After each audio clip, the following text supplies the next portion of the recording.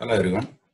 This is question number five, a numerical problem. For an average data, the two lines of regression are given by 8x minus 10y plus 66 equal to 0 and 40x minus 18y equal to 214. Question is, find the arithmetic means of x and y. See, as per the properties of regression lines, uh, two lines of regression intersects at the point. Two lines of regression intersects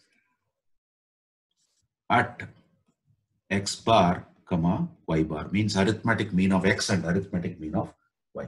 So hence we can replace hence we can replace x comma y with x bar comma y bar in the above equations in the above equation.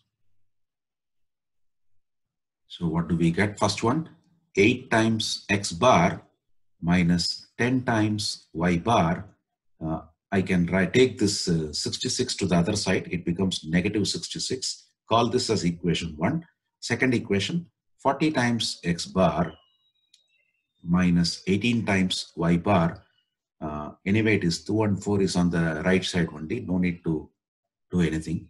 We'll keep it like this.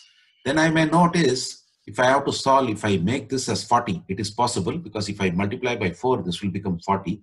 What I will do, I will multiply first equation into 5.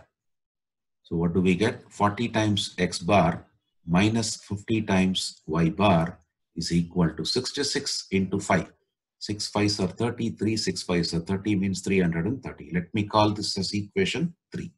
Now we can sub subtract uh, this equation 2 and 3. So second equation minus third equation. So 40x bar, 40x bar gets cancelled. Then this will become minus 18y bar minus of minus 50 times y bar is equal to 214 minus of minus 330.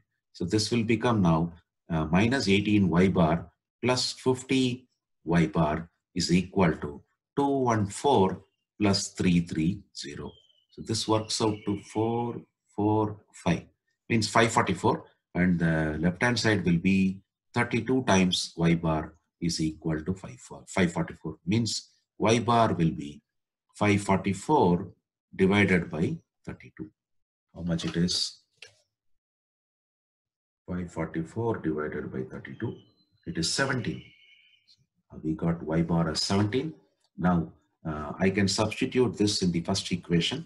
So 8 times x bar uh, is equal to, I can take that negative y bar to the right side, 10 times 17 we can make. Already there is a negative 66. So uh, 170 minus 66, you get sorry 170 minus 66 you get 104 means x bar is 104 by 8 so we get what? 30. so therefore the arithmetic means therefore arithmetic means of x sorry I should say x